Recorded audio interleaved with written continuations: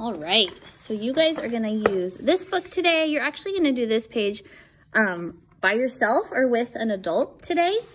But right now, I'm gonna read you our A story. So each time when we do one of our ABC book pages, we're also gonna read a new story. Last time, Mrs. Hall read you the story about the little child who had a box, right? This time, we're just gonna read a fun story that has to do with the letter. So our letter is A, and our story is called The Adventures of Abby Alligator. Now, A makes the sound ah, ah, like adventures, ah, ah, Abby, ah, ah, alligator. So we're going to listen for words that begin with the sound ah. Abby Alligator is ready to work. What will Abby do? Abby wants to be an acrobat, but she's afraid of falling. Abby wants to be an artist, but she can only paint apples. Abby wants to be an animal doctor, but she's allergic to aardvarks and she says, ah, ah, ah, choo. Abby wants to be an astronaut, but she meets an angry alien. A can also make the sound A, like an A, A, alien. Abby wants to be an actor, but she's awful. An actor is somebody who is in a movie or a show or a play, and she says, uh-oh, I forgot what I'm going to say. That's no good. Abby can't think of any other jobs. Then Abby has an amazing idea. I'll be an author, says Abby.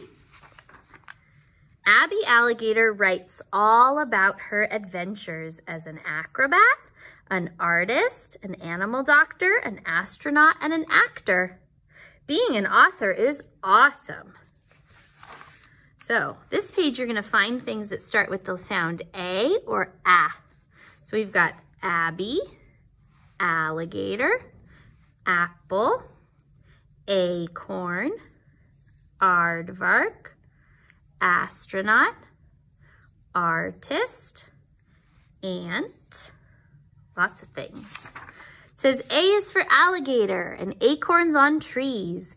A is for achoo, when you sneeze. A is for apples baked in a pie. A is for airplane, up in the sky. Hooray for A, big and small, the most awesome, amazing letter of all. So, on your book today, what you're gonna do is you're gonna have to think of some things that start with either the sound ah, ah, ah, or a, a, a, all right? And we're gonna work on the second A page. So what you're gonna do is you're gonna think of the word. Mommy or daddy is gonna write the word for you, maybe with a yellow marker.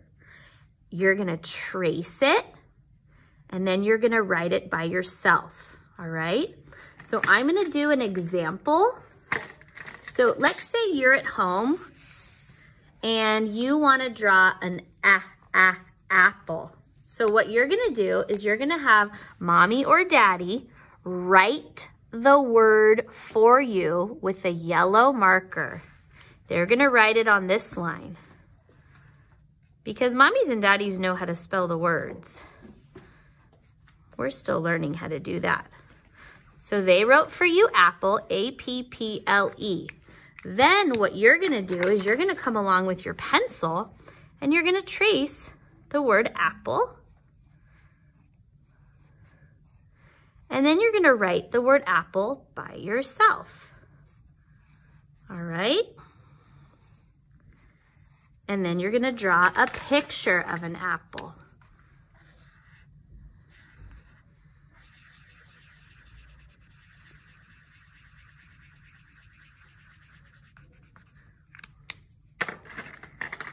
So I kind of did the first one with you just to show you how to do it.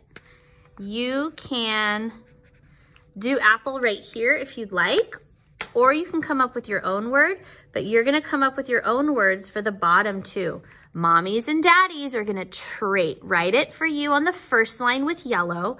You're going to trace it, and then you're gonna write it yourself, all right?